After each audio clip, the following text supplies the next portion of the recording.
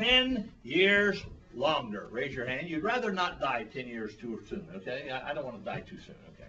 All right, how many folks here, uh, turn on that one light there in the center, would you?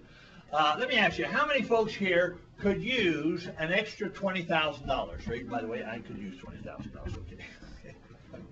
Uh, I read an interesting study done by, I think it was Time Magazine or somebody, it's kind of interesting, and they said this, they took like 5,000 people, and they studied these people who never went to church ever. They, they didn't go on Sunday, they didn't go once a year. And then they took these people who went to church every Sunday.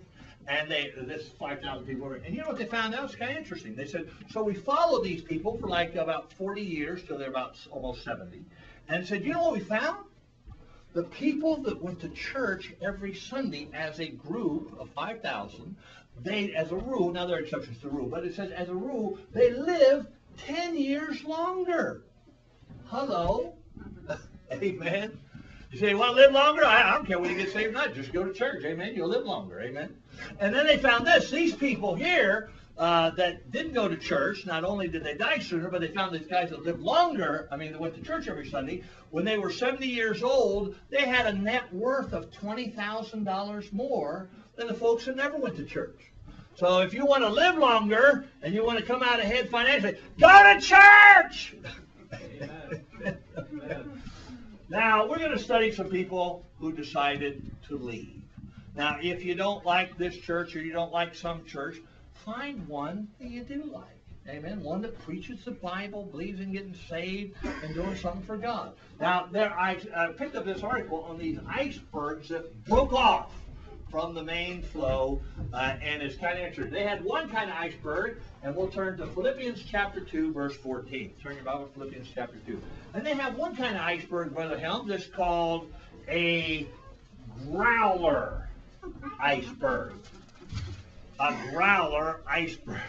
And what it is, that this iceberg has compressed air pockets all in it. And whenever it goes near anything, it makes these weird voices. Uh, I've met people like that. Amen. Amen. You've met some people are happy and some people are not. You know, happiness is a choice. Amen. You know that you can decide. Let, let me tell you something.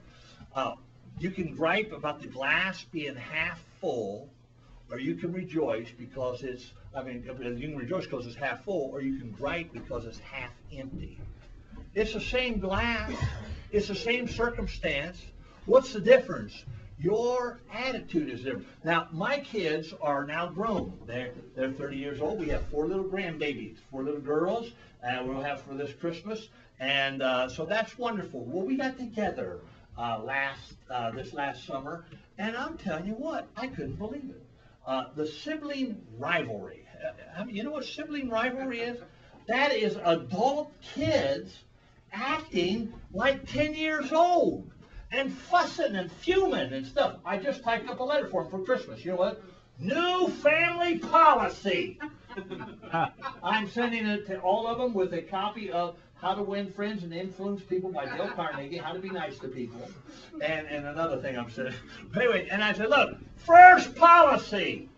Uh, the first policy is be nice. Amen? Amen? That's pretty simple. The second policy is forget the things in the past. I don't, they were, Brother Helm, they were griping about when you were in high school, you did, you said this and you did. Hey, knock it off. Amen. Grow up. Get over it. I couldn't believe. I mean, they were. Uh, you know. I mean, there was an intense, heated discussions over a bunch of silly high school, college that didn't amount to a hill of beans. And I told Ryan, I don't hear anymore. If anybody ever does that again, I'm going to stop you right in the spot and said, knock it off and shut up. Amen. I don't want to hear any of The Bible says, here's the point, the Bible says, forgetting the things that are behind and pressing on toward the mark. Amen? Amen?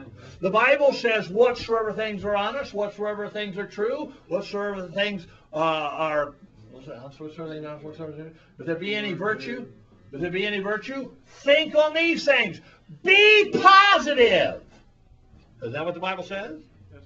First thing, forget the things are behind. Second of all, be positive. Amen. I, I just sat there and I'm, uh, I said, that's it. I'm, I, I'm right now. I said, listen, I, I, I may live 10 more years. I may have five more years. I'm not refereeing anymore. I don't want any more growlers. He says here in Philippians chapter 2, verse 4. I said, next time we get together for Christmas or Thanksgiving, I better not. If anybody says anything about something you didn't use in high school, and I'm talking about petty things, you, you said this to my girlfriend, and you give me. I, I, I, listen. I want everybody to turn to the people, somebody beside them, and look at them and say, "Get over it." Get over it, Josh. Get over it. Just tell them get over it. Amen. Get over it. Amen. The Bible says, forget the things that are behind, be positive, and go on and do something for God. You cannot let, you know, let me tell you something. I could, I've had so many things happen. Listen, when I was eight years old, my parents got a divorce. Okay? I was eight years old. They put my sister, because she was a young lady at 12 years old, they put her in the orphanage while they're fighting out this divorce thing for a year. They put my eight, my five-year-old brother, because he was a little tiny kid, they put him in the orphanage, but they didn't have any room for me. So when I was eight years old, uh, they said, well, I can't put him in the orphanage, so place we do, can't go with mom, can't go with dad, so the only thing we'll have to do, we'll put him in a juvenile detention center. I went to jail when I was eight years old, and I was there for a year. Now I could sit around and boy, that wasn't right. That was unfair. That was, you know. Hey, get over it. Amen. Be positive. Do something that will count for God. And I says here in Philippians, I want you to turn there, Philippians chapter 2, verse 14, very quickly.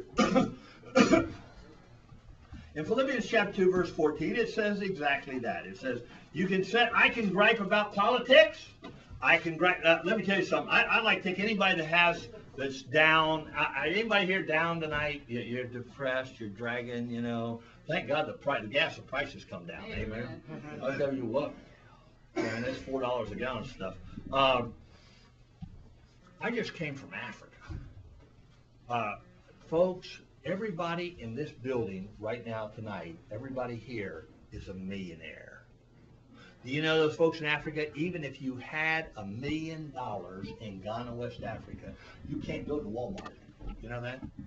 If you have a million dollars in Ghana, West Africa, you can't go down here to the Chinese buffet or the Mexican restaurant. Uh, you can't do anything. Uh, the roads are terrible. The gasoline is terrible. The whole thing. Then you have to worry about getting AIDS, Ebola, and leprosy. No shots, no medicines, and malaria.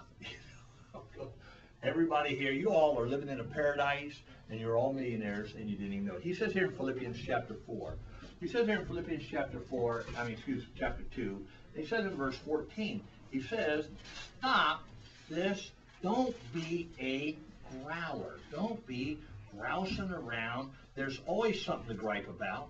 Uh, I could, if you want things to gripe about, I can give you a list of things to gripe about. Hey, gripe about the politics, gripe about the taxes, gripe about this. Or you can rejoice. The Bible says Paul, when he was in jail, he said, when he was in jail, laying on the floor with the rats and the roaches, he said, rejoice!